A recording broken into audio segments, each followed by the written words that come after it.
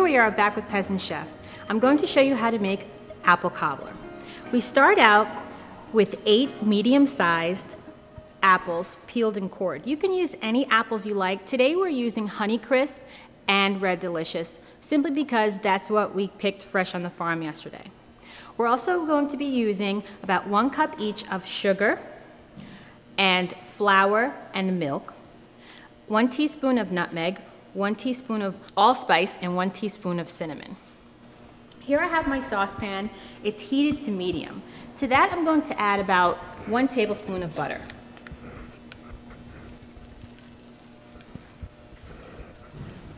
Now, in go my apples.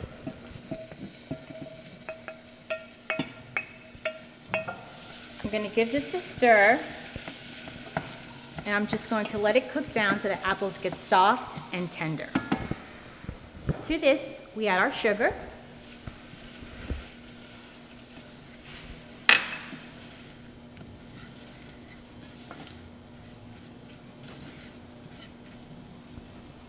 and all our spices.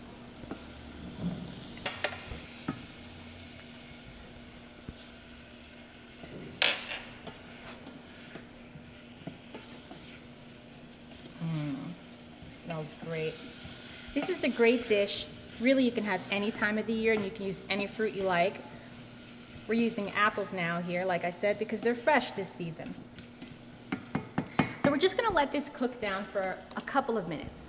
Meanwhile, you wanna make your crust. A crust for a cobbler is different from a crust from a pie. It's more like a biscuit dough. So what we did is we started out with, like I said, about one cup of milk, one cup of self-rising flour, one medium egg. I also melted one stick of butter, and I also put in about one quarter teaspoon of baking powder.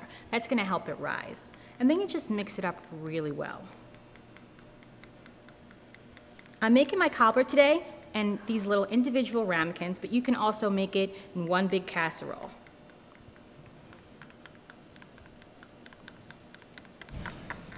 Okay, so now let's check on the apples. They look great. We have all the spices and the butter melted in. It's really cooking down nicely. So you don't have to cook these completely because you're going to bake it for about 30 to 40 minutes. We just want to make it just a little bit soft and tenderize it somewhat. So now these are ready. I'm going to pour the apple mixture right into the ramekin. Mm. Reminds me of grandma's. And right on top goes your crust mixture. You just pour this everywhere.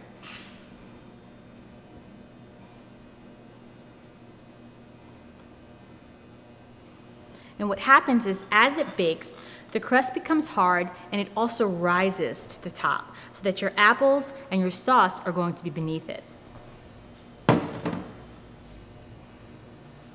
So this goes in a 375 degree preheated oven for about 30 to 40 minutes.